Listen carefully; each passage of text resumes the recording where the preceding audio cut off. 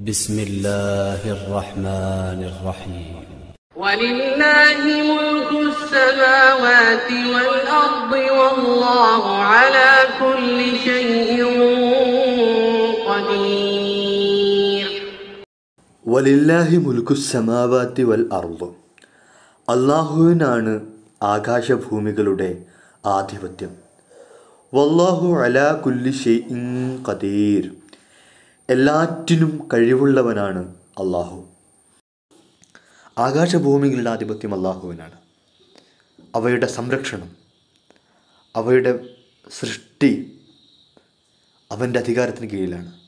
അവൻ ഇതിന് ഒരാളുടെയും സഹായമോ സ്വാധീനമോ പങ്കാളിത്തമോ ഉണ്ടായിട്ടില്ല. അവന് വഴങ്ങി ജീവിക്കുന്നവർ മാത്രമല്ല അവനോട് ശത്രുത വെച്ച് പുലർത്തുന്നവരും അള്ളാഹുവിന്റെ ആധിപത്യത്തിന് കീഴിൽ തന്നെയാണ്. കാരണം ഈ ഭൂമിയും ആകാശവും അതിനു ഉള്ളിലുള്ളതെല്ലാം അള്ളാഹുവിന്റെ സൃഷ്ടിയാണ് അവന്റെ ആധിപത്യത്തിന് കീഴിലാണ് എല്ലാം എന്നതുകൊണ്ട് തന്നെ. അതുകൊണ്ട് തന്നെ രക്ഷാശിക്ഷകളുടെ അധികാരവും അള്ളാഹുവിനെ തന്നെയാണ്. എല്ലാറ്റിനും കഴിവുള്ളവനാണ് അവൻ. ഖുർആൻ പലയിടങ്ങളിലായി ഇത്തരം അള്ളാഹുവിന്റെ വിശേഷണങ്ങൾ ആവർത്തിച്ചു പറഞ്ഞത് മനുഷ്യർ മനുഷ്യർക്ക് ബോധമുണ്ടാവാൻ വേണ്ടിയാണ്. خلق السماوات والأرض واختلاف الليل والنهار واختلاف الليل والنهار لآيات لأولي الألباب ഇന്ന ഫി ഖൽഖി സമാവാതി വൽ അർള് വഖ്തിലാഫിൽ ലൈലി വൻ നഹാർ നിശ്ചയം ആകാശഭൂമികളുടെ സൃഷ്ടിപ്പിലും രാപ്പകലുകൾ മാറി വരുന്നതിലും ല ആയാത്തില്ലി ഉലിൽ അൽബാബ്. ബുദ്ധിയുള്ളവർക്ക് ദൃഷ്ടാന്തങ്ങളുണ്ട്. പ്രാപഞ്ചിക പ്രതിഭാസങ്ങളിലേക്കാണ് പിന്നീട് അള്ളാഹു നമ്മെ കൊണ്ടുപോകുന്നത്. പ്രവാചകത്വത്തിനുള്ള തെളിവായിക്കൊണ്ടാണ് പ്രപഞ്ചത്തെ അള്ളാഹു കാണിക്കുന്നത്.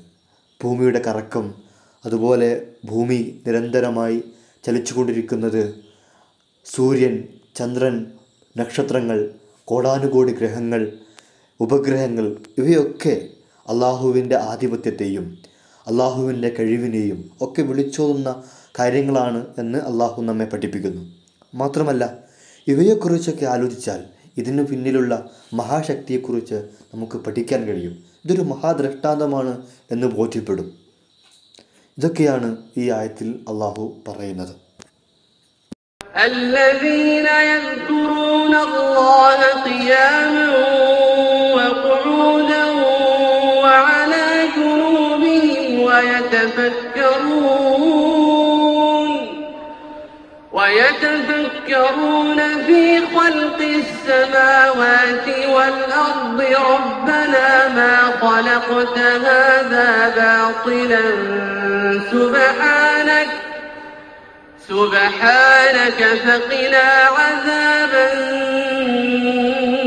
النار الذين يذكرون الله قياما وقعودا وعلى جنوبهم നിന്നും ഇരുന്നും കിടന്നും അള്ളാഹുവിനെ ഓർത്തുകൊണ്ടിരിക്കുന്നവരാണവർ വയത്തഫക്കറൂന ഫി ഹൽക്കി സമാവാത്തി വൽ അർദ് ആകാശഭൂമികളുടെ സൃഷ്ടിപ്പിനെക്കുറിച്ച് ചിന്തിക്കുന്നവരും റബ്ബനാമ ഹലക്കുത്ത ഹാദ ബാത്തുല. ഞങ്ങളുടെ റബ്ബെ നീ ഇതൊന്നും വെറുതെ സൃഷ്ടിച്ചതല്ല. സുബഹാനക് നീ എത്ര പരിശുദ്ധൻ. ഫക്ന അദാബന്നാർ അതിനാൽ നരകശിക്ഷയിൽ നിന്ന് നീ ഞങ്ങളെ കാത്തുകൊള്ളണമേ. ആകാശഭൂമികളുടെ സൃഷ്ടിപ്പിലും അതിന്റെ മാറി മാറി വരവുകളിലും ദൃഷ്ടാന്തങ്ങളുണ്ട് എന്ന് ബോധ്യപ്പെടുന്നതോടുകൂടി രാപ്പകലുകളിൽ അള്ളാഹുവെ ഓർത്തുകൊണ്ടിരിക്കുന്ന ഒരു വ്യക്തിയായിട്ട് ആ മനുഷ്യൻ മാറും. നിരന്തരമായി വിക്രുകൾ ചൊല്ലുക എന്നതിനപ്പുറം ജീവിതം മുഴുവൻ അള്ളാഹുവിന്റെ സാന്നിധ്യം ഉണ്ടാവും. അങ്ങനെ അവൻ ആ അള്ളാഹുവിന്റെ മഹത്വത്തെ വാഴ്ത്തി ഭൂമിയിൽ അള്ളാഹുവിന്റെ സാന്നിധ്യം അറിയിച്ച് ജീവിക്കും. അപ്പോൾ അവൻ അള്ളാഹുവിനോട് പ്രാർത്ഥിക്കും പടച്ചറബേ നീ ഇതൊന്നും വെറുതെ സൃഷ്ടിച്ചതല്ല. എന്ന് അള്ളാഹുവോട് പ്രാർത്ഥിക്കുന്ന ഒരവസ്ഥയിലേക്ക് മനുഷ്യൻ എത്തിച്ചേരും നീ പരിശുദ്ധനാണ് നീ കളങ്കമില്ലാത്തവനാണ് എന്ന് പറയുന്ന ഒരവസ്ഥയിൽ ഒരു മ- മനുഷ്യൻ എത്തിച്ചേരുന്ന ഒരു സാഹചര്യത്തെക്കുറിച്ചാണ് ഇവിടെ അള്ളാഹു വിവരിക്കുന്നത് ربنا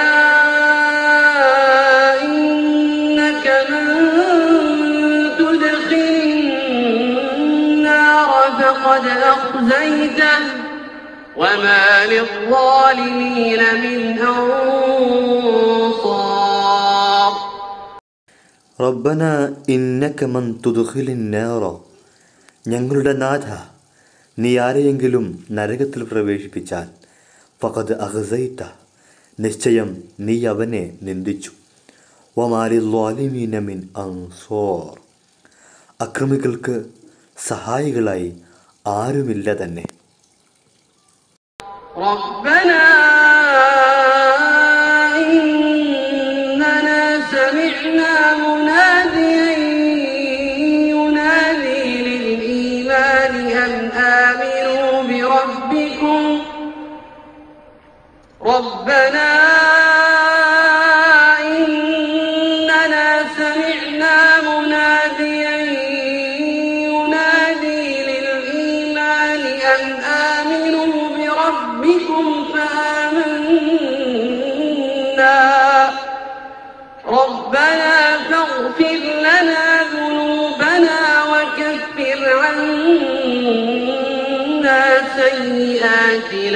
وتوفنا مع الأبرار റബ്ബന ഇന്നന സമിഅന മുനാദിയൻ യുനാദിയിലിൽ ഈമാൻ ഞങ്ങളുടെ റബ്ബെ നിശ്ചയം സത്യവിശ്വാസത്തിലേക്ക് ക്ഷണിക്കുന്ന ഒരാൾ വിളിച്ചു പറയുന്നത് ഞങ്ങൾ കേട്ടു അൻ ആമിനു ബി റബ്ബിക്കും ഫ ആമന്ന നിങ്ങൾ ഞങ്ങളുടെ നാഥനിൽ വിശ്വസിക്കുക എന്ന് അപ്പോൾ ഞങ്ങൾ വിശ്വസിച്ചു റബ്ബന ഫഗ്ഫിർ ലനാ ദുനൂബന വകഫിർ അന്ന സയ്യാത്തിന ഞങ്ങളുടെ റബ്ബേ അതിനാൽ ഞങ്ങളുടെ പാപങ്ങൾ പുറത്തു തരയണമേ ഞങ്ങളുടെ തിന്മകളെ നീ മായ്ച്ചു കളയണമേ വതവഫന മഅൽ അബറാർ ഞങ്ങളെ സൽക്കർമ്മികളോടൊന്നിച്ച് നീ മരിപ്പിക്കുകയും ചെയ്യണമേ ربنا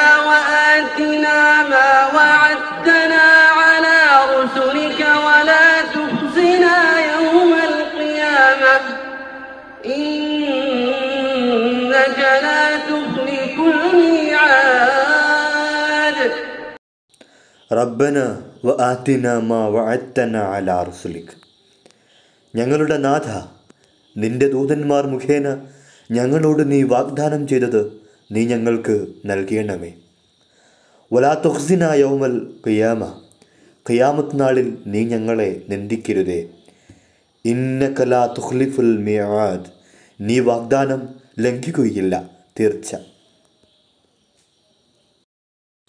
ഇതിന്റെ തുടർന്ന് അള്ളാഹു ചില പ്രാർത്ഥനകൾ നമ്മെ പഠിപ്പിക്കുകയാണ്. നമ്മുടെ ജീവിതത്തിൽ നമ്മളെപ്പോഴും ശീലിക്കേണ്ടുന്ന പ്രാർത്ഥനകൾ. പ്രവാചകൻ സല്ലല്ലാഹു അലൈ വസല്ലമ്മ ജീവിതത്തിലുടനീളം പഠിച്ച അല്ലെങ്കിൽ പ്രാർത്ഥിച്ചിരുന്ന പ്രാർത്ഥനകൾ. തന്റെ സ്വഹാഭിമാരെ പഠിപ്പിച്ച പ്രാർത്ഥനകൾ.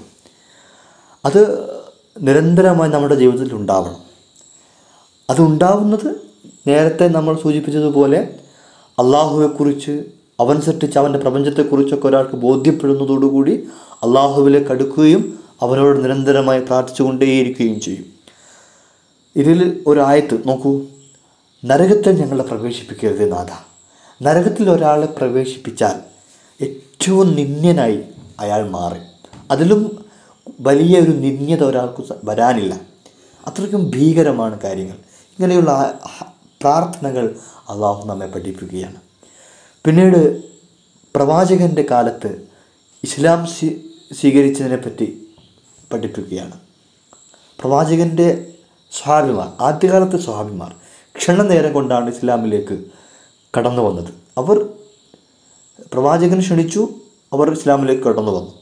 അവർ അത് സ്വീകരിച്ചു സത്യവിശ്വാസികളായി. അള്ളാഹുവിനോട് പ്രാർത്ഥിച്ചു പാപമോചനത്തിന് വേണ്ടി പ്രാർത്ഥിച്ചു. കുറവുകളും കുറ്റങ്ങളൊക്കെ നികത്തി സജ്ജനരോടൊന്നിച്ച് സ്വർഗപ്രവേശം നൽകാൻ വേണ്ടി അള്ളാഹുവിനോട് അപേക്ഷിച്ചു. ഇവിടെ രണ്ട് വാക്കുകൾ നമുക്ക് കാണാൻ പറ്റും. റംബ് സയ്യാത്ത്. റംബ് എന്ന് പറഞ്ഞാൽ ഗുരുതരമായ പാപങ്ങളാണ്. വലിയ വലിയ പാപങ്ങൾ. സയ്യാത്ത് എന്ന് പറഞ്ഞാൽ ചെറിയ പാപങ്ങളാണ്. കുഞ്ഞു കുഞ്ഞു പാപങ്ങൾ. ഇവയെല്ലാം തങ്ങളിൽ നിന്ന് അകറ്റി നിർത്തണം. ചെറിയ പാപത്തിൽ നിന്നും വലിയ പാപത്തിൽ നിന്നും അകറ്റി നിർത്തണം എന്ന് സത്യവിശ്വാസികൾ പ്രാർത്ഥിക്കും.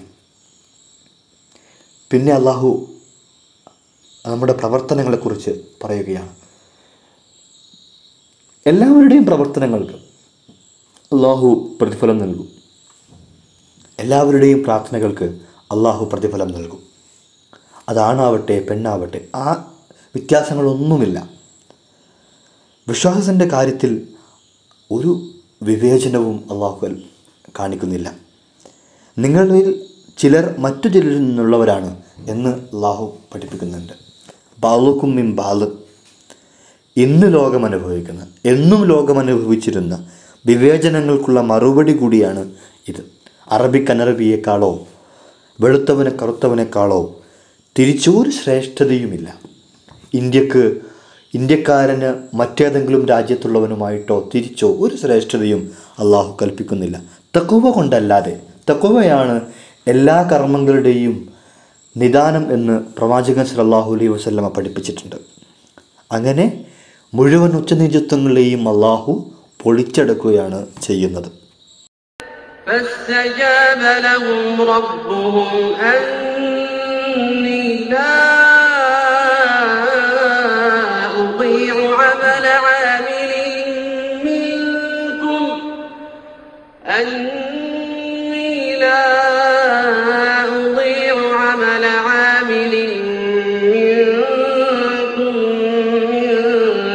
ذكر أو أنثى بعضكم من بعض فالذين هاجروا وأخرجوا من ديارهم وأوذوا في سبيلي وقاتلوا وقتلوا وقاتلوا وقتلوا لأكفرن عنهم سيئاتهم ولأدخلنهم ولأدخلنهم جنات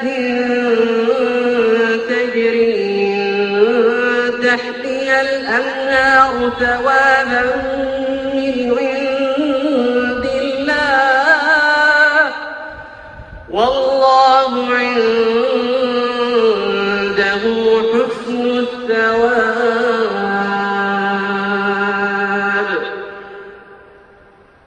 ഫസ്തജാബലഹും റബ്ബുഹും. അപ്പോൾ അവരുടെ രക്ഷിതാവ് അവർക്ക് ഉത്തരം നൽകി.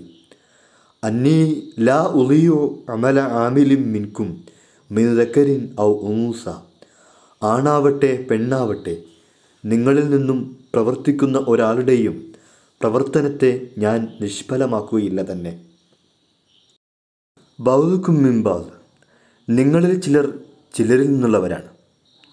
പല്ലദീന ഹാജറു വ മിൻ ദിയാരിഹിം വ ഉസൂഫി സബീലി വ കാത്തലു വ ഹിജ്റ ആകയാൽ ഹിജറ ചെയ്യുകയും സ്വന്തം വീടുകളിൽ നിന്ന് പുറത്താക്കപ്പെടുകയും എന്റെ മാർഗത്തിൽ മർദ്ദിക്കപ്പെടുകയും യുദ്ധത്തിലേർപ്പെടുകയും കൊല്ലപ്പെടുകയും ചെയ്തവർ. ല ഉക്കഫിറന്ന അൻഹും സയ്യാത്തിഹിം തീർച്ചയായും അവരിൽ നിന്ന് അവരുടെ പാപങ്ങൾ ഞാൻ മായ്ച്ചു കളയും വല ഉദഖിലന്നഹും ജന്നാത്തിൻ തജിരീമിൻ തഹ്തിഹൽ അൻഹാർ താഴ്ഭാഗത്തിലൂടെ അരുവികളൊഴുകുന്ന സ്വർഗാരാമങ്ങളിൽ അവരെ ഞാൻ പ്രവേശിപ്പിക്കുകയും ചെയ്യും. സവാബം ഐന്തില്ല അള്ളാഹുവിൽ നിന്നുള്ള പ്രതിഫലമത്രയത് വല്ലാഹു ഐന്ദഹു ഹസ്നു സവാബ്. അള്ളാഹുവിന്റെ പക്കലാണ് ഉത്തമമായ പ്രതിഫലമുള്ളത്. പ്രവാചകന്റെ ജീവിതത്തിലെ ഏറ്റവും പ്രധാനപ്പെട്ട സംഭവങ്ങളൊന്നായിരുന്നു ഹിജറ. ഹിജറ എന്ന് പറയുന്നത് ഒരു ഒളിച്ചോട്ടമായിരുന്നില്ല. അതൊരു പുതിയ കാൽവെപ്പായിരുന്നു. മക്ക മക്കയിൽ നിന്ന് മാറി മദീനയിൽ ദീനിനെ സ്ഥാപിക്കുവാൻ വേണ്ടി ഉള്ള ഒരു യാത്ര.